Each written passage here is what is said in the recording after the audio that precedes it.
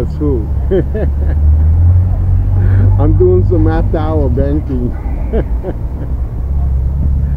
yeah, I figured I, you know, I go to the bank, find out if I have any money, and uh, see if the machine will spit out a couple of bucks, but it won't.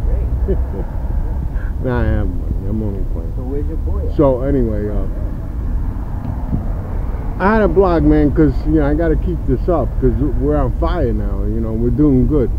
You know, so I wanted to uh, say a little something before I go home because I, I had to go to the drugstore. I had to do a little shopping. I didn't even catch a breath in between. I met an old buddy of mine. Forget it. We talked war stories.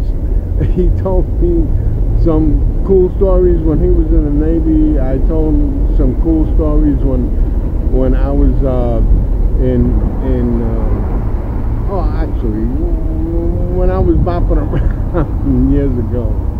So anyway, uh, yeah. So I, I couldn't let this moment uh, pass without saying hello and I'll catch you tomorrow because I'll continue the blog. I'll continue this blog tomorrow. All right. I'm not gonna say it. That's my blood, my brother's gimmick. Okay.